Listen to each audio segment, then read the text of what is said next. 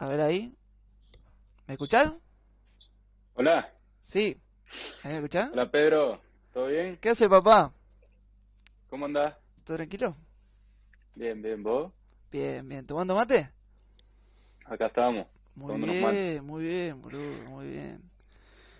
Tranquilo. Este, ¿cómo son tus días allá? ¿Cómo, cómo, cómo es la jornada? Y acá andamos, ahora entrenamos a la mañana, hacemos todo recuperación, todo lo que hay para hacer, y, y bueno, una siestita y después, nada, tomo unos mates, a veces le meto gimna- gimnasio a la tarde, algunos ejercicios, pero no más que eso, tranquilo, muy tranquilo. ¿Play metés? Poco, ahora estoy metiendo poco, pero, pero sí, a- hay que empezar a jugar. bien, bien, bien. Bueno, mil gracias, mil gracias por, por, por venirte, gr- mil gracias por estar acá. Este, Nada, un un placer. recién estaba, estábamos charlando un rato con, con el chat y me preguntaban si aprendí portugués. Traslado la pregunta y te quiero preguntar cómo fueron los primeros días con el portugués.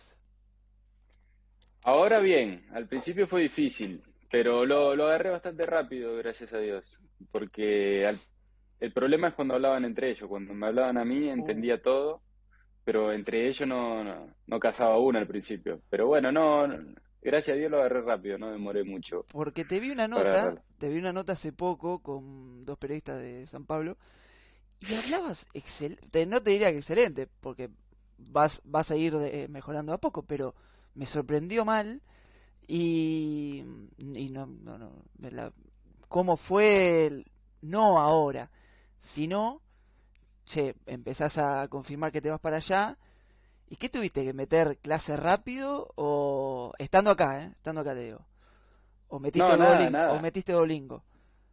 No, nada, nada, te juro nada de nada, porque fue todo muy rápido, no dio ni tiempo para, para practicar algo. Así que fue de, de un día para el otro que me tocó irme y, y bueno, llegué. Gracias a Dios tenía compañeros extranjeros, mucho, bueno, había argentino, está Caleri, Alan Franco, que llegó después, Ferraresi, venezolano, estaba Bustos. Ah, Entonces era todo más fácil porque estábamos todos en la misma. claro, Salvo Caleri que ya hablaba, los demás estábamos todos en la misma. tenías un grupito de Entonces, 4 o 5 para zafar, pero después el resto... sí, igual te digo que el que más rápido lo, lo agarró fui yo. Ah, Así que, ¿sí? sí, sí. No sé si Ah, porque yo ya sabía italiano y fue, hay cosas parecidas, entonces capaz que es por eso. claro, Pero se me hizo fácil, gracias a Dios. eso te ayuda un montón, eso te ayuda un montón. Pero, primero, em, estoy tratando de hacer memoria de cómo había sido, pero es, llegaste, llegaste con tu viejo a San Pablo, ¿no? Los dos, Sí.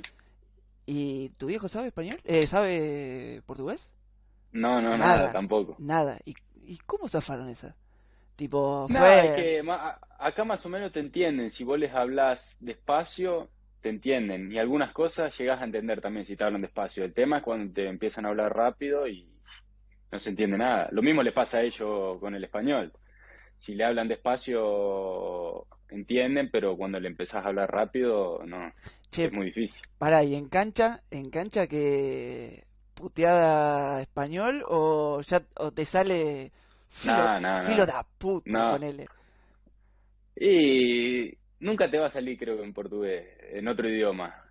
No, pero viste que hay algunos que tienen ese superpoder en la cabeza, estás jugando y vas cambiando, ponele.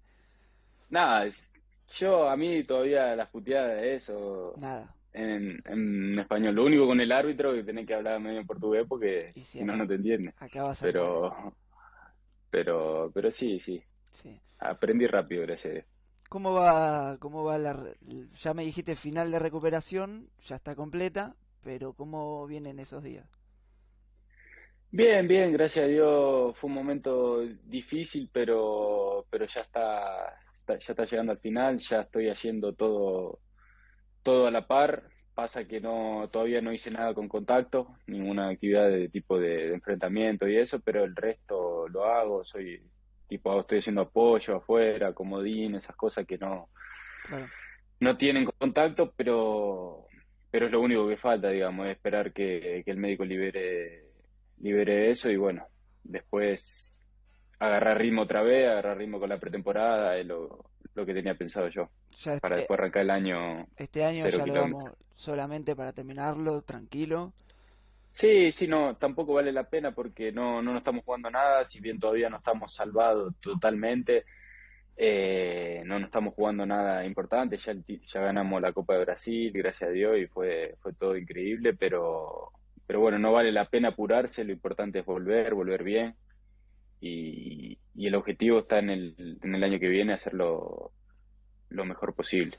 Ayer, ayer charlaba con, con un amigo que y me pregun- me dice, mirá, mañana lo primero que tenía que preguntar es cómo viven, y justo lo decís, tema de censo allá. Acá, bueno, fue una semana, no sé si habrás visto, fue un quilombo, eh, cosas que allá no creo que pasen, pero ¿cómo lo viven allá?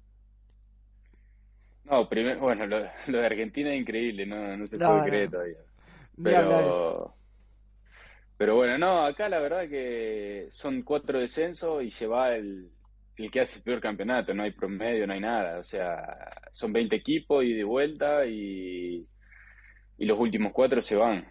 Y hay muchos equipos grandes ahora peleando ahí abajo.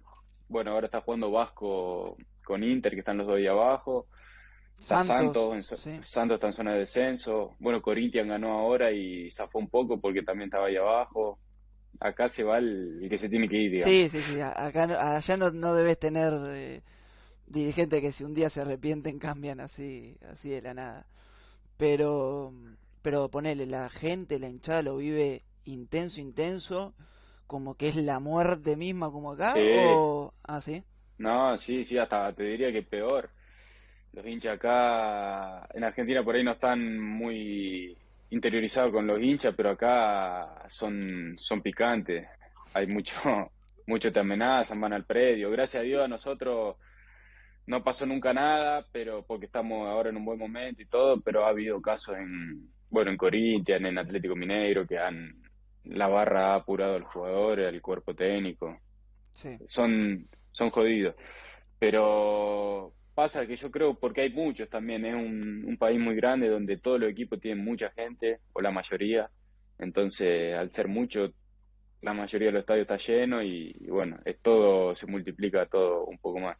¿Cuándo caíste que llegaste, a mi gusto, al equipo con más historia y más grande de Brasil?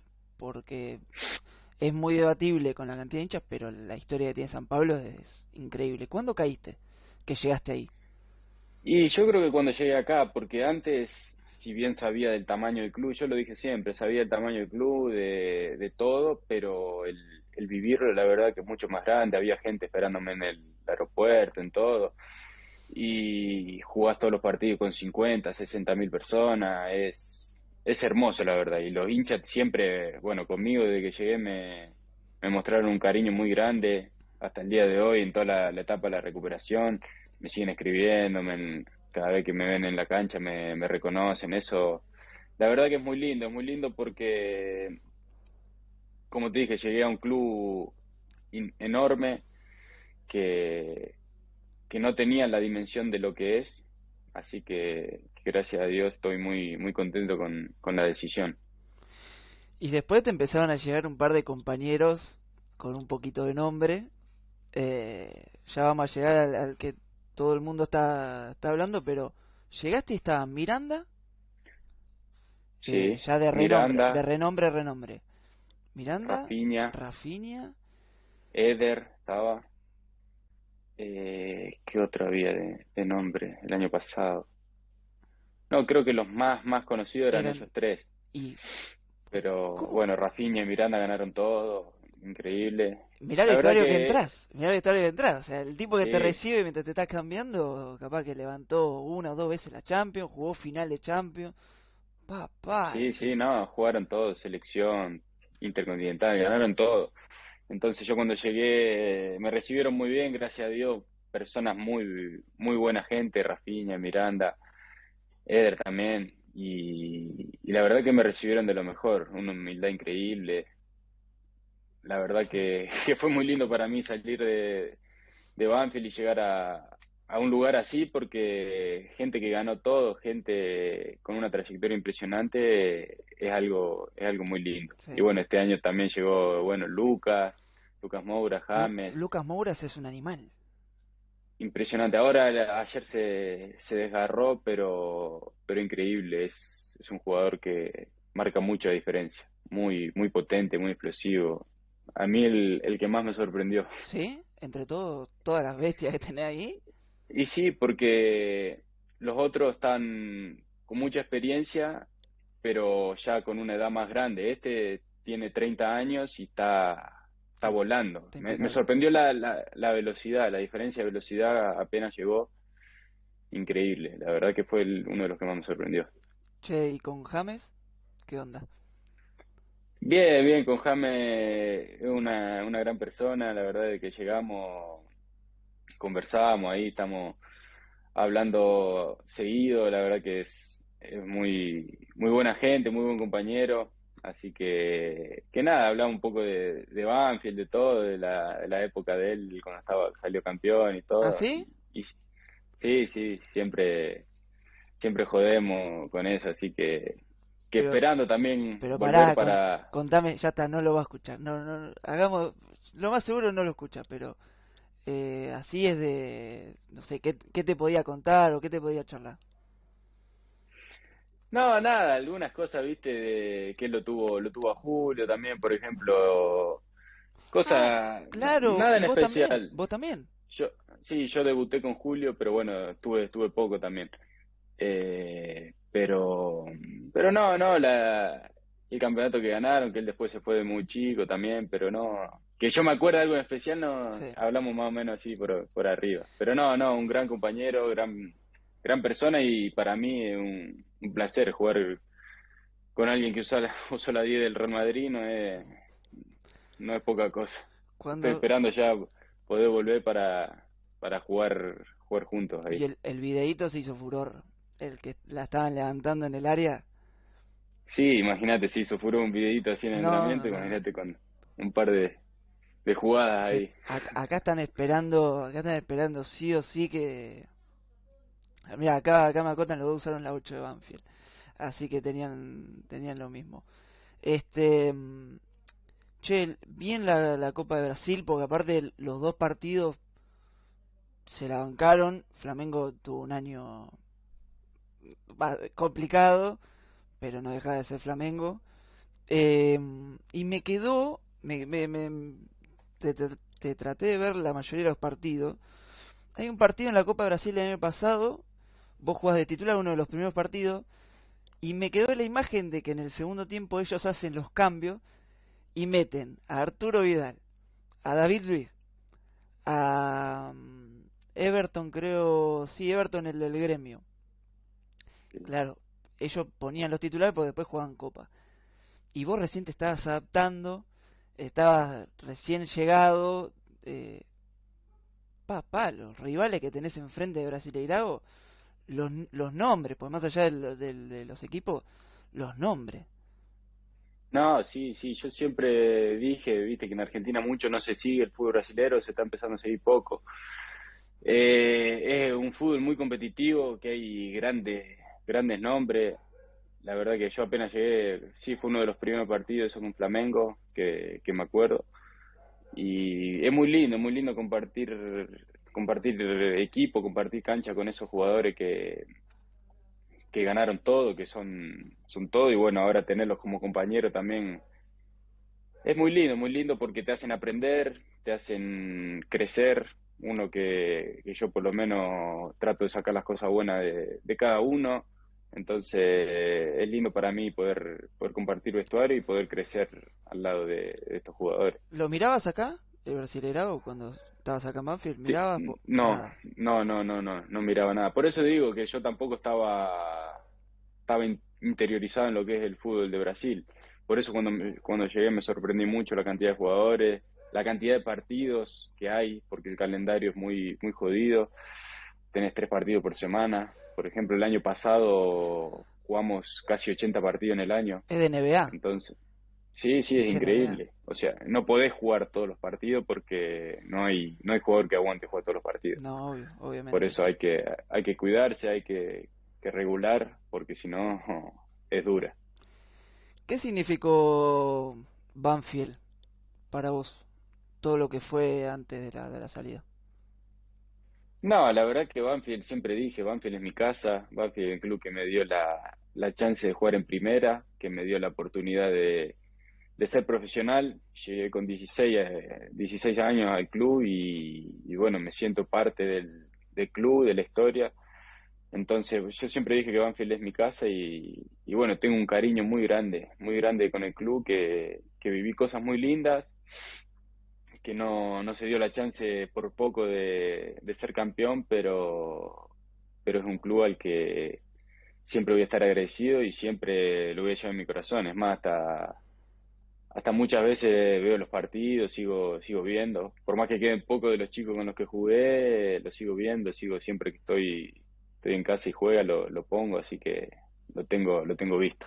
Sí, la, la mayoría, la mayoría le tocó le tocó partir. Eh, haces mención a que, bueno, casi se hace, el, casi se logra el campeonato. ¿Qué te quedó de esa copa? Ahora lo vamos a debatir, ahora lo vamos, lo vamos a charlar. Me, me, me, sos la primera persona con la cual puedo charlar de ese plantel, eh, así en mano a mano. Eh, ¿Qué sensaciones le dejó ese, de ese torneo tan corto en tiempo, pero fue intensísimo, mal? Sí, la verdad que un dolor muy grande. Te digo, hasta ahora me sigue doliendo esa final que perdimos porque se había formado un grupo muy lindo, un equipo muy competitivo, con el Archu que veníamos después de la pandemia y, bueno, me dio la chance de, de, ahí empezar a jugar. En ese campeonato yo empecé a, a ser titular, así que bueno, agradecido con el Archu también siempre. Y, y bueno, dolor grandísimo porque yo creo que hicimos todo para, para ganar la copa porque habíamos sido superiores en todo, todo el campeonato. Y bueno, lastimosamente Boca por penales sigue siendo ahora una locura y nos tocó perder.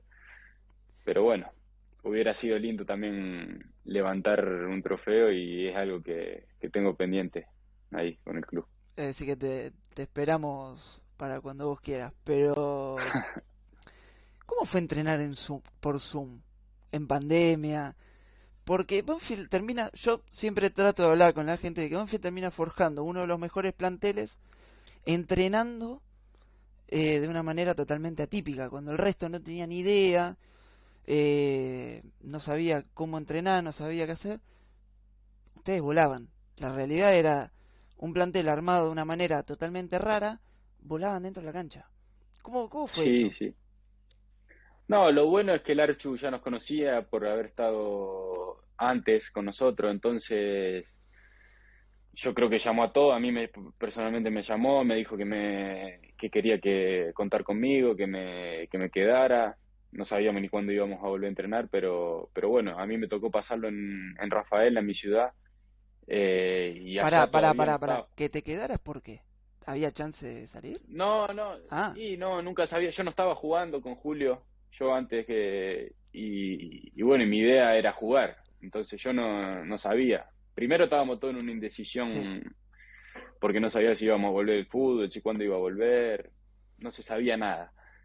Y bueno, mi idea era, era jugar porque yo había vuelto de la lesión, estaba bien y, y bueno, y no, no tenía la chance de jugar, no, no estaba ni entre los convocados, entonces mi, mi idea por ahí era, era buscar para jugar y ahí el Archu me llamó, me dijo que quería contar conmigo y, y bueno, se dio todo así. Bueno, te decía que pasé las, la, la pandemia allá en Rafaela, donde no estaba todo cerrado todavía como, como estaba en Buenos Aires, o donde cerró poco porque no había casi caso, entonces me dio la posibilidad de entrenar en cancha, de, de jugar también al fútbol, mantenerme en ritmo, mientras todo en Buenos Aires estaba todo cerrado. Entonces creo que esa fue una, una de las claves para, para, yo volver de la manera que volví, que volví muy bien físicamente, volví con, con ritmo de fútbol porque estaba entrenando con jugadores de Rafaela, todo. Entonces fue, fue fundamental eso. Claro, claro. Este, y después de, pasa el campeonato y el siguiente, a mi gusto, vos después me dirás, hizo elevando el nivel. Porque era un equipo que capaz que no rendía de la misma manera, poquitito menos, pero vos lo seguías manteniendo. Ahí, en, en tu cabeza, es eh, ¿cómo, lo fuiste trabajando el, el, el, ir mejorando en ese sentido? No, fue, fue la primera vez que a mí me tocaba una, una secuencia también de, de partidos, porque nunca, no había tenido la chance antes, entonces eh, fue la primera vez que, aparecí y cuando apareces es todo más fácil porque los rivales no te conocen, no te, estudian. Entonces, cuando una vez que, vos empezaste a hacer gol, empezaste a aparecer en el área, te empiezan a marcar, te empiezan a poner tal vez dos hombres en la pelota parada, te empiezan a, a, conocer un poco más, a estudiar, eh, es todo un poco más difícil. Pero, pero no, gracias a Dios pude mantener el nivel, sosteniéndolo. Creo que ese campeonato después fue fue muy bueno que hicimos, solo que creo que, si no me equivoco, llegó un momento donde nos agarró a todo COVID. El partido en San Juan. el partido después de Vélez. Y tuvimos que jugar todos con los chicos de, reserva, de inferiores, entonces ahí creo, y después cuando volvimos, volvimos medio sin ritmo, entonces creo que ahí se nos terminó escapando de la posibilidad de clasificar, pero gracias a Dios yo en lo personal pude, pude mantener el nivel, pude seguir haciendo goles, entonces conforme por, por ese lado. Sí. ¿Cuál fue el partido que más disfrutaste? De todo, de, de, que, que llegaste a primera hasta que te fuiste. Y creo que el 3 a 0 con Boca. Ese... ¿Sabés cuál te iba a decir? De... El de la nube, el clásico. El, clásico de la nube. Era, era el gol, era el gol y era el video de su Analytics. O sea, ya uh, está. Uh, el, el que pegó en el trasaño. Eh, no, yo decía el de Pons. Ah, el 2 a 0. El 2 0. Ah, el 2 0. Eh, creo que hay un. Pasa que le, ganamos un par de a la nube, entonces. Y sí, sí, ya, ya no. Es más, tenemos bastante para. Y el otro también, el del travesaño, hace poco lo había tuiteado. Ese, lo ese. Vi, lo vi de vuelta. Era una locura. Por, por muy poquito. Era, un golazo. Pero el del no, pero creo que el que más, el más disfruté fue el, el 3 a 0 en la bombonera. Creo que ese partido va a quedar grabado porque no fueron muchas las veces que no sé si hubo antes que Banfield golear en la bombonera así. No no que yo recuerde no sé vos, que, sabes mejor. No no que yo recuerde no encima cuesta un, huevo ganar en bombonera y monumental. Y aparte 3 a 0 como fue y, y nada podría haber sido más eso eso fue es el día que es el día que Caniche casi se levanta la hija de Vivas. Claro, ese era, ese, era ese día. Sí, no, pero pero fue fue muy lindo ese, ese día. Aparte, justo después me toca irme al otro partido, entonces fue el último, casi, el último partido. ¿Cuál es el, eh, el técnico que más te mejora? ¿Es Sanguinetti? ¿El que más disfrutaste vos? Sí, sí, sin duda. Sin duda. A mí me gustó mucho también cuando estaba Crespo, que, trabajamos muy bien. ¿Qué recuerdo te quedó? No, porque yo tuve, cuando empecé a jugar tuve la mala suerte de, lesionarme ahí, entonces no pude, pero trabajábamos muy bien, el equipo jugaba muy bien. Lástima que no teníamos suerte con, con hacer el gol, siempre terminaba pegando en el palo, figura el arquero, y nos llegaban una vez y nos hacíamos el gol y terminábamos perdiendo. Fue esa la historia, pero pero aprendí mucho con, con Hernán, pero el que a mí me dio la confianza de ser titular, de, de mantenerme en el equipo y, de darme la libertad dentro de la cancha, creo que fue, fue el Archo. Sí. Así que eh, agradecido con él también, siempre. Sí, fue un ciclo, un ciclo, fue una, una locura lo que lo, lo disfrutamos un montón. Bueno, cierra con, con Copa Sudamericana, o sea, ni, ni, más ni menos. Eh, ¿Sos de mirarte mucho? cuando los partidos, eh, de, observarte detalle, de decir, bueno, eh, había que mejorar esto, hay que o bueno, lo que me queda en la cabeza eh, queda ahí. O sea, lo trabajo. No, sí, me gusta, me gusta, me gusta. Ahora, bueno, estos meses que estuve afuera, no traté un poco de, de desligarme un poquito del fútbol, de empezar a, a estar un poquito, porque si no te mata, estar todo el día fútbol y sabiendo que no puedes jugar, te, te liquida. ¿Y hacia, dónde, hacia dónde fuiste? No, no, otras cosas, serie, tipo estar más tranquilo, estar pensando en la recuperación en, y no ir a ver a mis compañeros, todo eso sí. Pero cada vez que lo, lo iba a ver sentía unas una ganas de jugar increíble que no. Sí. Que a veces decía que no lo quería mirar porque la terminas pasando mal. Pero bueno, gracias a Dios ahora eso fue en la primera parte. Ahora que ya está la rehabilitación bien y estoy entrenando bien, ya, ya estoy más tranquilo y estoy pensando en, en cuando vuelva de volver de la mejor manera. Por eso no tengo apuro, es volver y volver bien, volver ya Sí. para jugar y no, no salir más. Sí, sí, sí. Este, así que caíste en el mundo series. Mundo Nada, series, películas. sí, Ah, tranquilo. Metí Le- al gimnasio, le metí a, ¿Leer? a la recuperación. So- Eh, poco, poco, la ah. verdad que poco. Sí, sí, era, pero ahora estoy un poco, un poco vago, pero me gusta también. Así, Bueno, voy, voy leyendo, voy leyendo acá un poco el, eh, el chat. Este, mm, bueno, hay, hay un montón, un montón de gente, boludo, es impresionante. Este, ¿de qué te tiene pensado para el año que viene? ¿Cómo? ¿De qué te tiene pensado? ¿Qué, po- qué posición? ¿Cómo te tiene Ah. pensado eso? Y no conversé mucho con el entrenador Siri, conversé la, la idea de dónde me gustara, me gustaría jugar más, que es donde siempre lo hice en Banfield, que, que fue de interno, de doble cinco o, o ahí atrás del 9, pero, pero siempre por el medio. El año pasado tuve, estuve jugando en todas las posiciones más Sí. o menos, pero, pero bueno, sentía que, que el entrenador necesitaba también esa posición y lo hice para, para ayudar al grupo, para ayudar al equipo, pero como le dije al entrenador, las, las posiciones que más me siento cómodo son esas, esas que te, que te dije. Sí. Eh, qué lindo, Copa Libertadores el año que viene. Eh, Va a ser lindo. Aparte tenemos la, la Supercopa en, enero, creo que final de enero. ¿qué sería por el- ahora? ¿Botafogo por ahora sería? Claro, por ahora el, por ahora Botafogo, Qué lindo. que lleva una ventaja buena ahí. Este, bueno, eh, acá preguntan, no sé por qué, pero bueno, lo preguntan, ¿cómo te adecuaste al clima? No sé por qué. No, es que ¿qué acá tiene? llueve No sé qué tiene. Ah, Al- llueve un montón.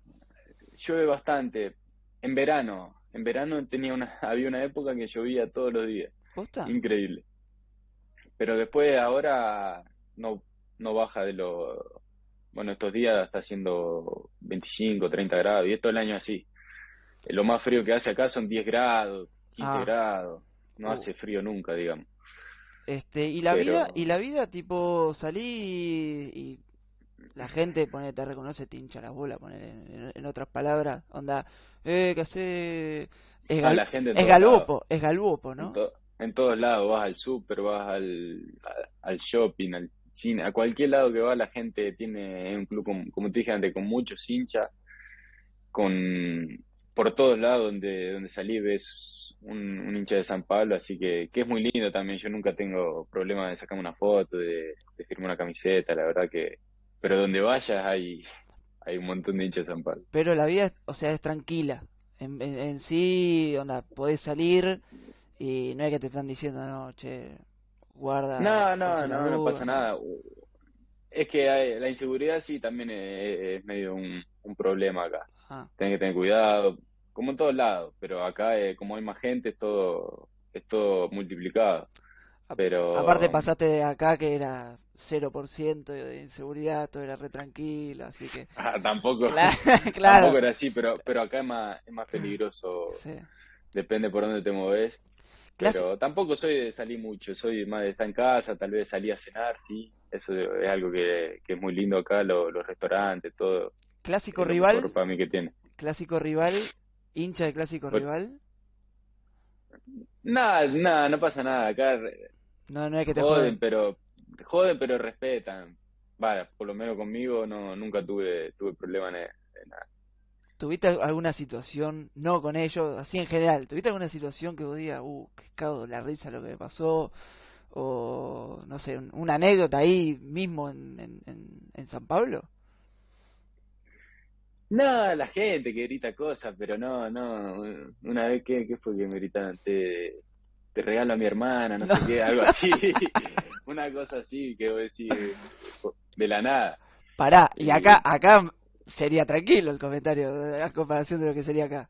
No, pero de los hinchas de hinchas mismo de, de Ah, San hincha- Pablo, te ah, mismo de San Pablo. Claro, como, como que te quieren mucho y te... Nada, pero acá están, están re locos. Tan- la gente muy muy fanática, muy fanática. No sé, por eso digo, creo que más más fanática que en Argentina, diría. Así que Sí, sí, acá, acá, ya tengo, acá ya tengo brasileño también. Dicen, dicen lo mismo, así que se ve que ya ahora te van a empezar a decirlo bastante seguido. Pero mismo en, las redes sociales también te, te mandan mensajes todo el día, te... impresionante, impresionante. Por eso, yo desde que llegué, gracias a Dios, me, me demuestran mucho cariño, mucho, me quieren mucho por suerte, así que, que bueno, esperar a, a volver para devolvérselo otra vez dentro de la cancha. Sí, obvio, obvio. Eh, se me había pasado, y, retomando un poco a Banfield, eh, me gusta preguntar mucho lo que es paso inferiores. ¿Cómo, ¿Cómo lo viviste lo que fue? ¿Vos llegaste con 16 al club? Sí. ¿Cómo, cómo, cómo lo viviste dentro de, de las inferiores de Banfield? ¿Cómo, ¿Cómo es dentro de las inferiores de Banfield? Bien, bien, yo llegué con, con 16, creo que estaba el, el flaco Vilo, si no me equivoco, entrenador, en sexta edición, y, bueno, yo vivía en una pensión por fuera, en otro lado, vivía en una pensión en Cani, eh, y me, iba todos los días a, entrenar. Pero yo donde hice la diferencia fue en, en sexta no jugué mucho, pero con, en quinta con Pico, Pico Hernández, que fue el que me, a mí me dio la posibilidad de, también de, de jugar salí, hice como 12, 13 goles ese año, me acuerdo, en quinta división, y ahí, ahí fue que pude dar el salto a, reserva, que también estuve poco y, me tocó subir al, plantel. Y de ahí a primera. La, la estructura que tiene, que tiene Banfield con las inferiores a veces, ahora te das cuenta, vos, nosotros estamos en un pico, viste que el otro día te, no sé si habías visto el clásico, el partido del pibe, del pibe Rivera fue tremendo eh, y ahora la exposición de lo que es las inferiores este con la imagen del pibe es, es impresionante pero es esa es la pregunta o sea cómo cómo cómo lo viven ustedes dentro o, cómo lo vivían en ese momento sabiendo que Banfield es un eh, Banfield Lanús eh, Argentino Junior eh, Vélez clubes que te casi que te garantizan eh, una posibilidad casi en primera, ponele. sí, sí, lo, lo venía viendo el chico, la verdad que juega, juega muy bien. Eh, pero sí, sí, es un club que le da mucha oportunidad a los juveniles, que a mi opinión podría, no tendría que estar peleando este momento porque no, no merece estar, estar ahí abajo. Es un club que, que tiene todo para estar ahí arriba, estar peleando cosas importantes como lo hace Defensa y Justicia, como lo hace Argentino Junior, no es, no es menos que ninguno de esos, de esos clubes, ¿me entendés? Entonces, tiene todo, tiene un potencial increíble, pero bueno, a veces hay decisiones que, que no, que no, que no corresponden que yo las diga, que todo el mundo las sabe, que, que bueno, que no deja el club crecer porque si se harían las cosas bien y se potencializaría más aún a los juveniles, creo que, que darle una contención mayor tal vez, hacerlo sentir más importante, porque al final es un club que depende de, la, de las inferiores, depende de los juveniles y, y, bueno, yo creo que hay que valorizarlo más por ese lado y, y empezar a creer que el club puede estar más arriba y que no merece pasar este momento, porque de ninguna manera merece pasar este momento con la estructura que tiene, con, con los jugadores que saca, con lo que vende, con lo que recauda, ¿me entendés? Entonces no, no merece estar ahí abajo, pero bueno. algún día esperemos que cambie esas cosas. Me, pongo a pensar eh, de tus compañeros en su momento. Vos, eh, Martín Pallero, venta importantísima, Rama, el Caniche, o sea, fue una camada de la concha de su madre, hablando mal y pronto. Sí, un montón de jugadores, Corcho, Bravo. Impresionante, la, la cantidad de jugadores. Y ver a, ¿sabes por qué es feo? Porque ves a un equipo que hace dos años estaba jugando una final, jugando Copa Internacional y ves hoy, por otro lado, está peleando abajo y, y uno como yo quiero el club y yo salí del club, no, no es lindo ver al, club en esta situación. Entonces, porque si vos me decís, no tiene, no tiene herramientas para estar ahí arriba, bueno. No saca pibe, ponele, ponele, no saca pibe, bueno. Claro, pero tiene, tiene todo. Ha hecho ventas muy importantes. Pero bueno, es, es el querer y bueno, hay que ver si se, dentro del club realmente se quiere aspirar a, estar ahí arriba. Hay que ver cuáles son los objetivos. Sí, obvio, obvio. Bueno, eh, acá pregunta, ¿mejor socio en cancha? ¿Con quién te sentiste más cómodo? Y hasta ahora con el, con el Gordo Payero. Creo que fue... Qué, pegada. Fue, un, fue una, una dupla muy linda que hicimos, que, que anduvimos muy bien juntos. Entonces creo que, que el Gordo me dio muchas asistencias. Yo no le, no le di, no le di muchas, pero, pero él me hizo hacer muchos goles, así que, que creo que, que con él, sin duda. Qué genio, qué genio. Este.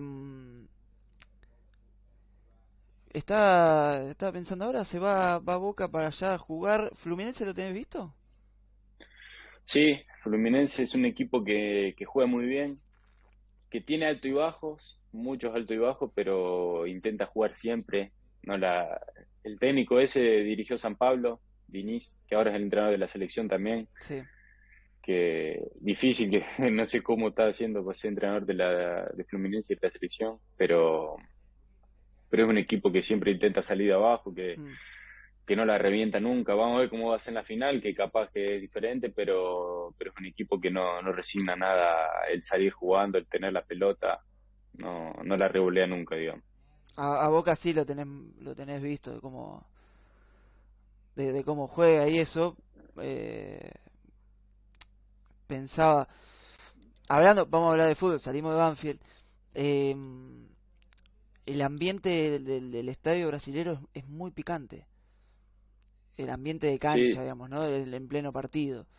Eh, y el otro día, va, no, ayer, que bueno, el partido, no hablemos del resultado de San Pablo Palmeiras, no hablemos, pero sí hablemos del ambiente. hablemos del ambiente. Eso es, es muy diferente a lo de acá. Son todos estadios más cerrados, algunos. Sí, sí, pero como te dije, son, son muy fanáticos acá.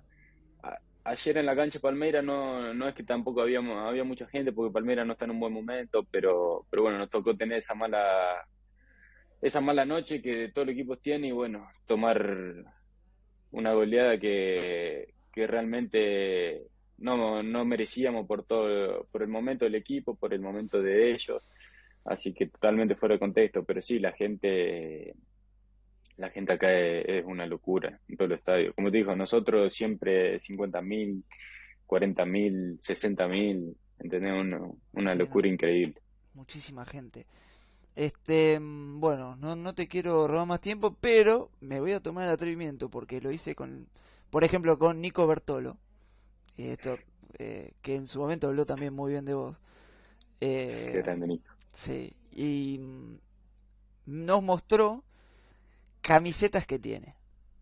¿Cambiaste alguna? Sí, la, lástima que acá no tengo. Ah, no las llevé para Argentina. No. Pero las tengo ya en Rafaela. Cambié con, bueno, en la, acá cambié con, con Ganso, con Arrascaeta, con Vidal. No, no. Eh, ¿Con quién? Bueno, en Argentina cambié con Tevez, con Nacho Fernández, Quintero. No, tengo, tengo camiseta de día, con Darío. Ah, ¿de Darío te quedó? De Darío tengo la, la de Racing tengo. Ah, uff. Pero... ¿Qué fue el partido? ¿Qué te tocó convertir? ¿El partido? Creo un 0 a 0. Puede ser, yo... Sí. No me acuerdo. No, no me acuerdo qué partido fue. Pero, pero creo que sí, un 0 a 0, sí, sí. Sí, siempre, siempre habló muy bien eh, Darío. Nada, Nico, Nico y Darío son los grandes. Por eso yo, yo te agradecido también de haber subido a primera y tener, tener referente como, como Darío, como Renato, como, como Nico, después más adelante como Lucho Lolo. Creo que la verdad son, son ejemplos, son gente que, ¿Te ayudaron, ¿Te ayudaron, mucho? ¿Te ayudaron mucho? Sí, sí, sí. Al, al principio no es fácil llegar a, a un vestuario de tantos grandes como llegaba, llegué cuando subí yo, creo que por 2018. Y, y la verdad que, que me ayudaron mucho. Aprendí muchas cosas de, de ellos. Si bien, bueno, con Renato discutí bastante en su momento, con Lucho Lolo Ah, también. ¿sí? Pero por Sí, eh, por- cosa de cancha. Nada, por cosas por cosa de cancha, de vestuario, pero, pero siempre yo estoy agradecido porque uno va creciendo y se da cuenta del motivo de, varias cosas, de varias actitudes y, y ahora que uno, soy todavía un chico, pero soy un poquito más grande, vas entendiendo cosas que, que decís, por este motivo las hacen, por este otro, la experiencia que tienen, ¿me entendés? Entonces, creo que yo como soy un, uno que por ahí en el momento no parece, pero trato de sacar las cosas positivas de cada uno, te das cuenta a la, a la larga de, de quiénes son los buenos referentes, quiénes no, y quién te marca, quién no. Entonces creo que ellos que te nombré siempre, siempre tuve un, un respeto y un cariño muy grande. Bueno, eh, no te quiero, no te quiero joder más. Eh, acá me dicen, decirle las fotos de Zarrafa. ¿Lo, lo tenés de Twitter a Zarrafa? No, no le das mucha Mm, pelota a Twitter. Creo que no. No, a veces, a veces entro, pero no, no mucho. Pero Bueno, creo que, ¿qué te- foto es? No, no, eso es, eh, capaz, ah, capaz de conocer la historia. Eh, es el que hizo 800 fotos para Darío, para que vuelva Darío. No sé si fue Ah, sí, sí, sí, ya sé cuál es. Sí, sí, sí, este. me Bueno, parecía. ahora después te tengo, te tengo que, te tengo que pasar de. Se ve que me están, no sé, está todo el mundo diciéndome eso, pero estoy totalmente perdido. Así que de- después, después te mando. Bueno, Está bien. mil gracias. No, gracias por haber pasado. Eh, y bueno, cuando tengas ganas de, de hablar de un rato de fútbol, de romper los huevos, eh, como le digo, Ah, está bien. como le digo a Darío y se lo dije a Nico, nada, tan, tan más que invitado. Bueno, muchas gracias por la invitación. Felicitarte a vos también porque siempre hablaste bien, siempre con buena intención y bueno, eso al final de todo es lo, es lo más importante. Así que te felicito, que sigas creciendo. No, no, ¿Eh? mil gracias a vos, porque el- que hoy haya llegado tanta gente fue, fue por vos, o sea, nació, nació así, este, por, por una actitud tuya, así que bueno, nada, mil gracias y lo mejor. Ojalá, Dale. ojalá te podamos ver rapidito ahí en, en la cancha, ya en la pretemporada. eh, y bueno, por, creo que acá se puede ver por Star Plus el Brasileirado. Eh, Sí, creo que lo están pasando. Sí, sí, mi, mi familia lo ve, lo ve por ahí, así que por estar plata pasan todos los partidos, creo. porque yo tengo Star Plus, pero no me, no me llegaba. Y cuando jugabas vos, le tuve que preguntar a un colega brasilero. Y me pasó un link que para mí me llevaba a cualquier lado. Pasa Eh, que creo que eran los partidos del Paulistao y el Paulistao no lo pasan por Star Plus, lo pasan Ah. por otro lado. puede ser, Y, puede ser. Y comienzo de año es el, el Paulistao y después el Brasilerao, creo que empieza en abril, mayo. Entonces, viste, Así ab- que, abría el link, abría el link y ya era medio peligroso, viste, aceptar cookie y ya era medio raro. Dije, bueno, pará, vamos a, vamos a aguantar un toque en vez de, en vez de arriesgarlo. Pero bueno, nada, mil gracias. Dale, un abrazo grande y un saludo ahí a toda, a toda la toda la gente gente de... de Banfield y de San Pablo. Dale, ¿eh? dale. Nos vemos. Abrazo. Chao, chao.